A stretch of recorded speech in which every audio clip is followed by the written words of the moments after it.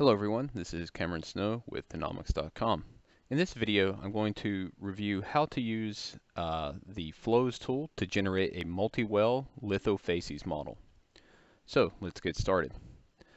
As you'll notice, uh, in the petrophysical interpretation package, uh, there is a option for lithofacies modeling.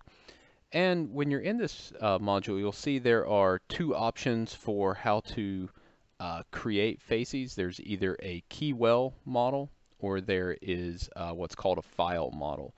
So the key well model essentially uses uh, just the data from the key well to, uh, to train a model using the k-means methodology.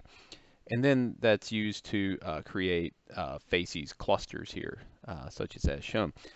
Now, this can then be applied to all your subsequent wells. However, this does have uh, some shortcomings. Uh, for example, unless every facies is represented within your key well, uh, you may be uh, missing some components. Um, also, by using multiple wells, you're probably going to be creating a, uh, a more robust model that's maybe a bit more inclusive.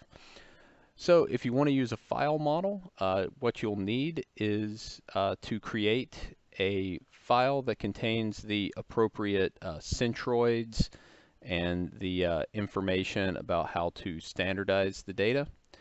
So uh, to do this, there's a few steps. First of all, we select File Model, and this will now give us a um, a new drop down here where we can select a, an appropriate database. But first of all, we need to create that database. So that's what we're going to do now. And we're going to use flows to do this.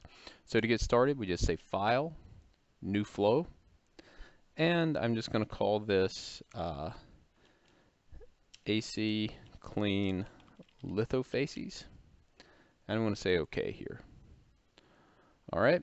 And uh, I'm going to actually move this up into the appropriate folder here. And I do that so that way it'll create um, it'll create that model in this folder. So the, the first part here is we say new and what we'll need to do is we'll need to input some logs. So we're going to start with a log input block. We're going to add that and we'll select our AC clean log database. Uh, we do need to choose what logs we want to use. I don't want to use all the logs in my database. I only want to use a select list here. So I'm going to click on API list. And then we can uh, choose the logs that we want.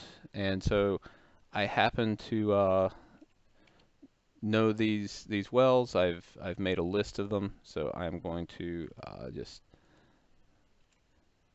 just uh, add these here. So I'm just uh, just pasting in the numbers and then uh, if they are in the uh, well database, you know, they will show up here and we can click that. So now I'm choosing to build this model on these four wells. So those are the logs that we're inputting. And next thing I need to do is I need to add a CPI log calc. I'm going to say add here.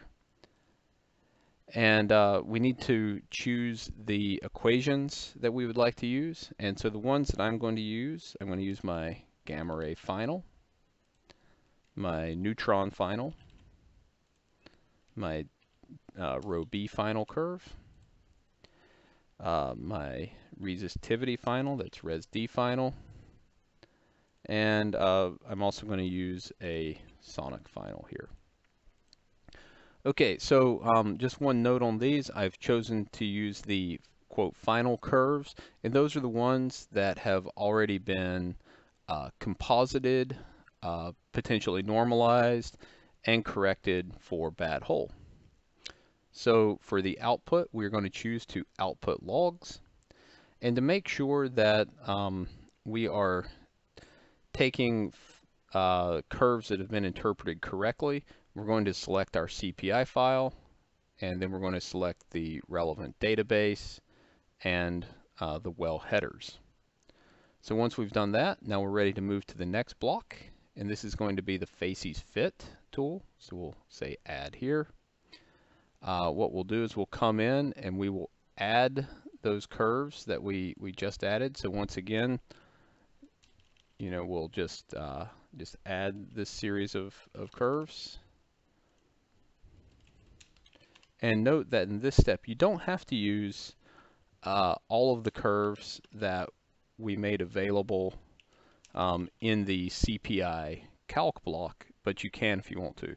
And then we give that a number of clusters. I'm going to say six clusters for this exercise. And then uh, at this point, what we'll need to do is we'll need to output a points data set. So we're going to say points output. Let me points output. And we're going to say add.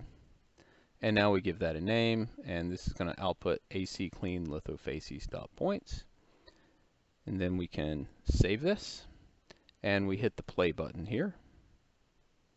Once we hit that, the jobs menu will pop up.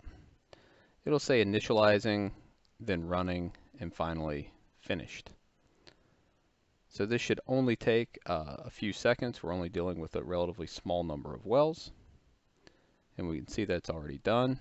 And so now when we come back to our analysis, here in the drop-down menu, we can select the AC Clean Lithofacies points. And now we see that we have a newly populated lithofacies model. And if we inspect this model, we can see that for example, in most of the Austin chalk, uh, our facies code is a 2. However, when we do have some of these little shale stringers, we can see that the facies code uh, is jumping up to 5. Here in the Eagleford, where it's an organic shale, our facies code is a 0 in this case. And in a few areas where it's a bit less organic, we're getting a different facies code. So it appears uh, to be working. And now this model has been applied to every well, and we can save these results. So uh, just to review, uh, we came here, we selected the Lithofacies module, we updated the model source to be a file model, then we came to our Lithofacies flow, where we selected our log input, we chose the equations that we want to use uh, here in the config equations. We selected the relevant uh, CPI file, TOPS file, and well database. We then performed the facies fit using uh, the logs that we had exported from our CPI. And then finally, we generated uh, the appropriate points output. We then came back to our petrophysical analysis, and then we selected uh, that model. Okay, I hope that was useful to you. Uh, the whole purpose of this is to give you a way to build more robust facies models uh, that you know take in more data than just the key well. Thank you.